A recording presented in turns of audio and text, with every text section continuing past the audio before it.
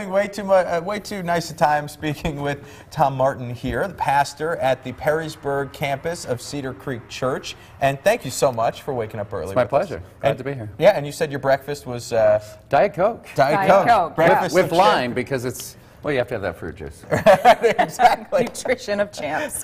and nutrition is really what this is all about. You guys are doing a, a really great cause, uh, raising a lot of awareness and food for those who need it in the community. You know, this is Impact 419. We call it Hope for Our Hunger. What's happening right here in Northwest Ohio, and you know, the need has never been greater than what it is right now. And that, right. that's a sad note, but yeah, I mean, it, it, that's why it's so important for all of us to get involved. Let's get all the details of the, the who, what, when, and where uh, of this drive.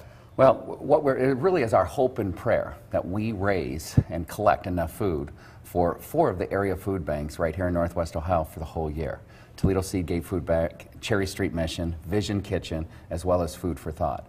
And, and so what we've done is we're working in collaboration with some amazing partners. So we have ProMedica, you know, the Toledo Blade, the Andersons is on board, Cumulus, the Toledo Blade, did I say the Blade already? You said, yeah. did. Buckeye Cable. We were only allowed to mention them once on air. no, no, no, I'm kidding. Washington local schools. And what we've done is it's just a collaboration of working together, of seeing if we can not just raise awareness, but literally collect food. Yeah, and, and you know, we eat a lot during this time of year, and sometimes we forget that not everyone is as fortunate. And so, around this time, a lot of people go in need of basic things. And some of these basic things uh, is what you're asking for the community to bring in. It is. And, and it, really isn't a difficult process. What we wanted to do is make this as simple as, you know, just pick up one of these bags. Inside of it is a shopping list.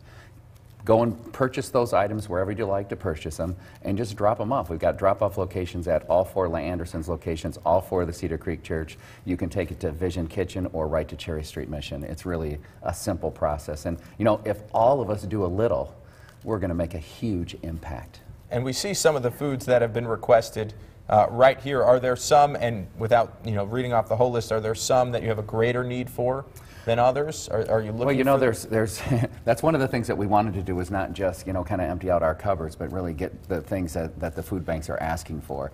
And so, you know, the, the cereals, the, you know, the hamburger helper, the chicken helper, uh, you know, canned vegetables, canned fruit, uh, the things that will last, baked beans. Uh, there's a whole list. If you go to impact419.tv, there's a, a grocery list that you can check out right there and has all the items listed on it. And, and that really, uh, I just can't emphasize enough, you know, when, when you're down there and you're able to help see these families that we're serving, we served last night at Vision Kitchen, um, it, it just it makes you think twice about what you do have. Right, and know. sometimes th- it may not seem a lot to us, like a lot to us, but it's the uh, factor that may help a family get over that next week until the next paycheck comes.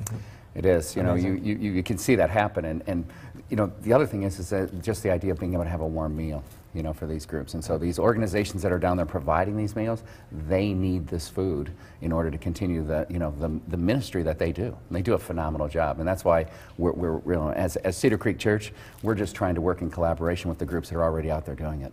Well, Pastor Tom Martin, thank you so much for doing my this, pleasure. for the community, for coming in and talking about it. Uh, Pastor Tom Martin, Cedar Creek Church, you can participate in this, pick up your bag, your grocery list, get involved, and help some folks out that really need it this time of year. 621, we will be right back. With